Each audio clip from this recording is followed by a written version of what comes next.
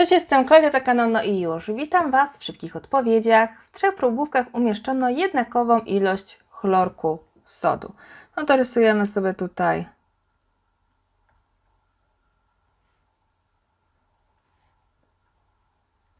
chlorek sodu, czyli NaCl. Ok, i mamy pierwszą probówkę, drugą probówkę i trzecią. Do probówek 1 i 3 dodano zimnej wody.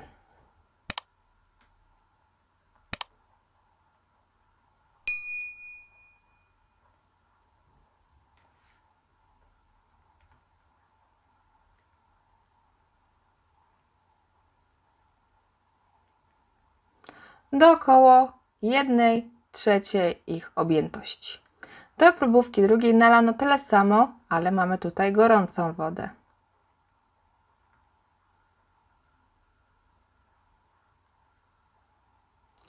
Zawarty próbówki pierwszej wymieszano bagietką i zaznaczamy tutaj ruch na tej bagietce, że odbyło się tutaj mieszanie.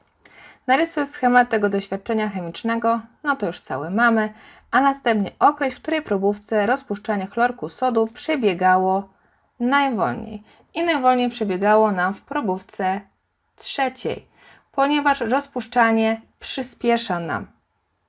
Wyższa temperatura, czyli mamy tutaj gorącą wodę i mieszanie, czyli mamy to w probówce pierwszej.